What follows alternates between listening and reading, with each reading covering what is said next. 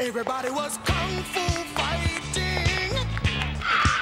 Those kids were fast as lightning. In fact, But they fought with expert timing.